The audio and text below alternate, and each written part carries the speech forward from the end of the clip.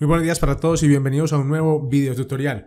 Continuamos con la creación de nuestro sitio web en WordPress y estoy muy feliz porque vamos avanzando ya con todo el conocimiento de lo que es el panel de administración de WordPress, de tal forma que puedas ya comenzar a manejar muy bien al derecho y al revés, como quieras, todo tu panel de administración de WordPress, te vas a dar cuenta que te vas dando cuenta que es muy sencillo, es simplemente conocer las funciones de cada una de las áreas y a partir de ahí comenzar a publicar contenido y saber dónde están ubicados todos los archivos que vas a necesitar. En este caso, vamos a hablar de la biblioteca de medios.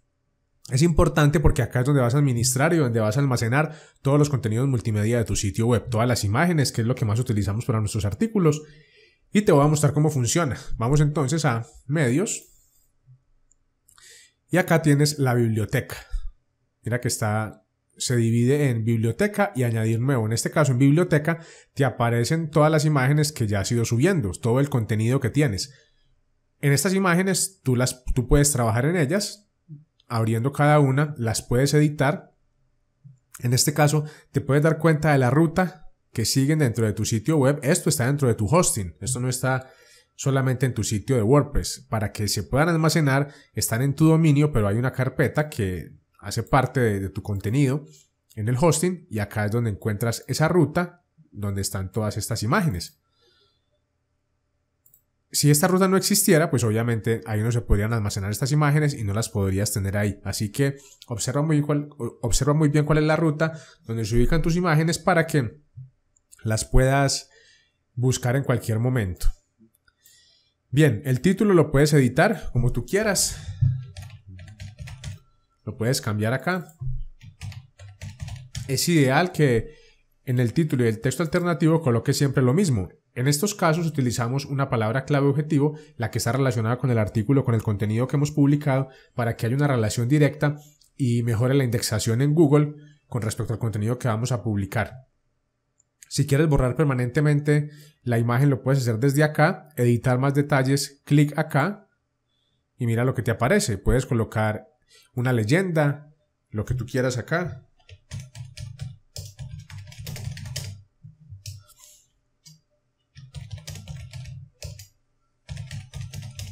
Tu leyenda de imagen, por ejemplo. Y acá colocar una descripción si quieres agregar una descripción. Una vez tengas toda esta información, le vas a dar clic en actualizar. Y ya tu imagen ha quedado actualizada. Vamos ahora, acá nos aparecen las fechas y todo, todo la descripción y todas las características de ese, de ese archivo. Vamos ahora nuevamente a la biblioteca, pero vamos a trabajar en la sección de acá en todos los medios. Mira, en este menú desplegable aparecen lo que son las imágenes, que son esas que aparecen acá. Audio, si subieras audios. Yo no te recomiendo que subas audios a no ser de que tengas un hosting con demasiado espacio con un espacio que sea eh, ideal para subir ese contenido porque digamos que si en este caso fuera a subir un, un, audio no me lo va a permitir. ¿Por qué? Porque los audios son muy pesados al igual que los videos. Entonces es importante tener más bien un gestor de audios, un hosting aparte, por ejemplo si vas a subir audios, tener un, una herramienta, un hosting especializado en podcast, por ejemplo como iVox o el de iTunes de, de Apple o cualquier otro otro hosting donde puedas almacenar tus audios de tal forma que desde aquí simplemente los enlaces. Lo mismo con los videos. En este caso para los videos utilizamos eh, YouTube. Desde ahí los enlazamos y trabajamos es con el ancho de banda de YouTube. No estamos ocupando en este caso el espacio de nuestro hosting porque prácticamente pues para hosting que apenas estamos comenzando tenemos un negocio donde tenemos algunos sitios web pero manejamos un espacio digamos de 2 gigabytes en el disco esto acabaría muy pronto porque los audios y los videos pesan mucho, así que no recomiendo que subas audios. Tampoco videos. En este caso vamos a trabajar nuevamente, aquí están todas las fechas y tienes todo almacenado por, las, por los meses en que has subido el contenido. Vamos ahora a añadir un nuevo medio. Eh, vamos a añadir, en este caso, una nueva imagen. Seleccionamos el archivo, buscamos en la carpeta donde vamos a, donde vamos a obtener ese, esa imagen, por ejemplo. Y acá vamos a subir, por ejemplo, esta imagen que me aparece acá. La seleccionamos. Perdón, volvemos, la seleccionamos, abrir. Vamos a ver qué pasa.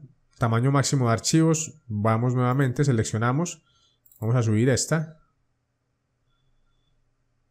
En este caso es todos los medios, imágenes. Ah, bueno, aquí las tenemos. Estaba equivocado, estaba en la carpeta que no era. Aquí la dupliqué, entonces mira que vamos a borrar acá, aceptar. Y vamos a borrar esta también, borrar permanentemente, aceptar. Tenemos esta imagen. Esta es la carátula de Unibook que yo obsequio en mi sitio web. 8 claves para aumentar la visibilidad de tu negocio en Internet. Si te interesa, descubre cómo atraer clientes de forma recurrente. Si te interesa, dirígete a juancamiloalvarez.net y ahí te va a aparecer la opción para descargarlo completamente gratis. Bien. Esta imagen la acabamos de subir y acá podemos cambiarle el título. Podríamos colocarlo claves para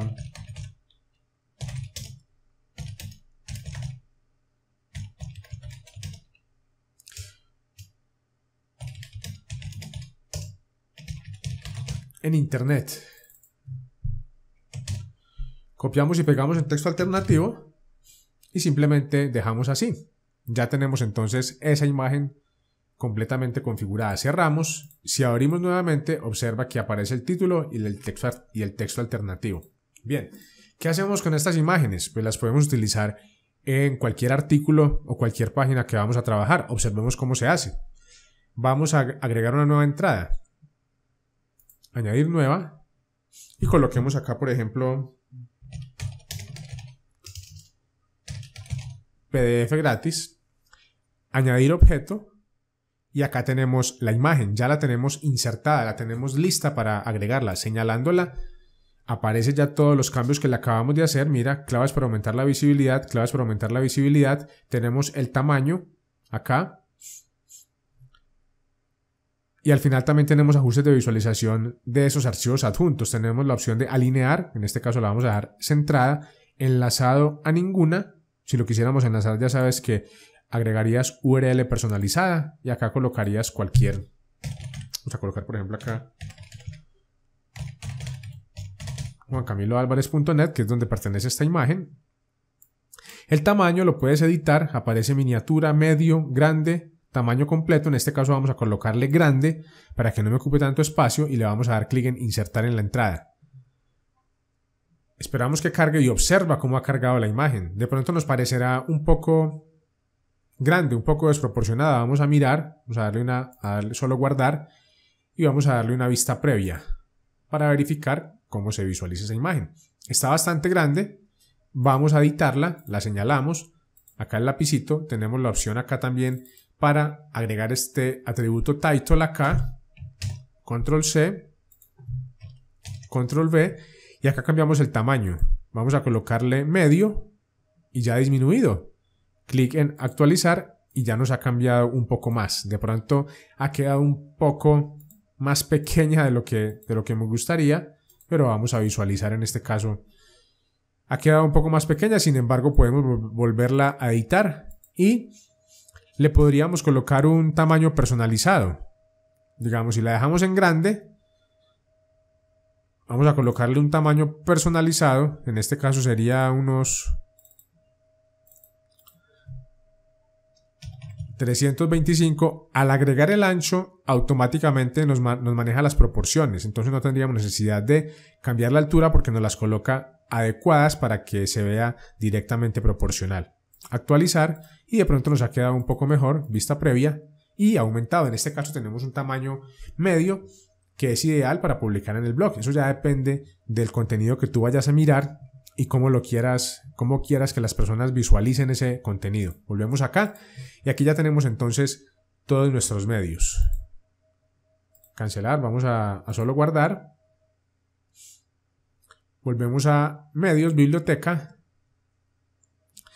y observemos las fechas. Todas las fechas, bueno, en este caso, esta fecha todavía pertenece al mes de abril, entonces por eso nos aparece nomás el mes de abril. Estamos ya en el día 30 y por eso nos aparece todavía el mes de abril. A partir del primero de mayo, si empezamos a subir nuevas imágenes, va a aparecer acá una nueva columna por fechas, una nueva opción para seleccionar y obtener todo ese tipo de imágenes que nosotros queramos visualizar. Tenemos la opción también de visualizarlo de otra forma, que sería así. en forma vertical y acá nos aparece una opción de vista rápida para editar, borrar o para ver. Tenemos esa opción. Le damos clic en editar, nos abre inmediatamente la opción de editar el contenido, esa imagen, y tendríamos la posibilidad de hacerlo. En este caso, clic en actualizar y volvemos a la biblioteca. Y aquí tenemos todo nuestro contenido para poder trabajar con ellos. A mí personalmente me gusta más así, esta vista en cuadrícula. Bien, ¿qué más podemos hacer? Pues básicamente, si queremos seleccionar todas estas entradas, selección múltiple. Entonces, podemos descargar este contenido si queremos.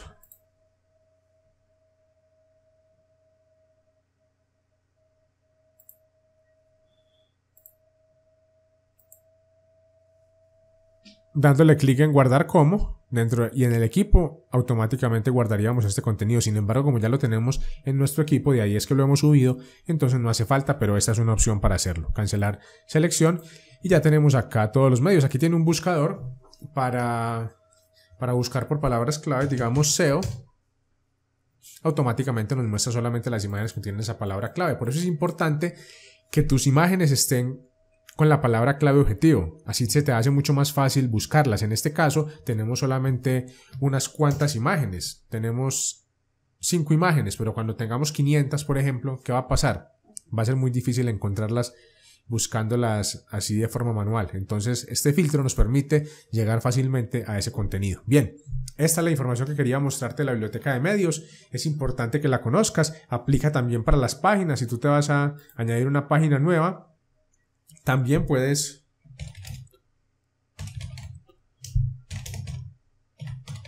hacer uso de la biblioteca de medios, añadir objeto y añades acá lo que tú quieras. Ahí está.